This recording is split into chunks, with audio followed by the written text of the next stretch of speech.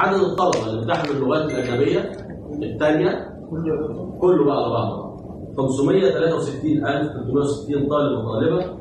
اجمالي اجمالي عدد الطلاب الناجحين 534967 اللغات الأجنبية الثانية اللي حصلوا على الدرجة النهائية 106583 من من 541996 وجاءت نسب النجاح بالشرائح بقى. خمس الطلبه جابوا الدرجة النهائيه في اللغات في اللغات الأجنبية الثانية. حصول عدد 222582 على شريحة من 90 ل 100 وذلك بنسبة 41.6 من 10% حصلوا على الشريحة من 90 ل 100 حاجة يعني إيه؟ يعني عالية جدا. حصول عدد آه، 89841 طالب وطالبة.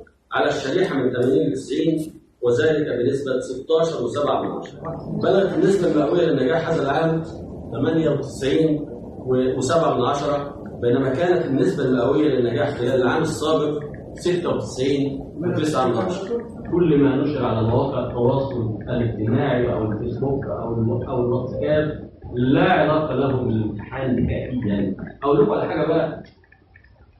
منشور على مواقع التواصل والجروبات إن إحنا هنقدر ندخل على الكنترولات شوف بقى مدى ونغير نتيجة الطلاب خلي بالكم الكلام. ندخل على على على النت ونغير ال system.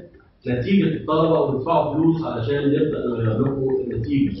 أنا عايز أقول لهم ال system جنبي أهو. إحنا في الكنترولات ما بنستخدمش بنستخدم إنترنت. يعني يعني نت داخلي كده مع مع جوه وليس إنترنت.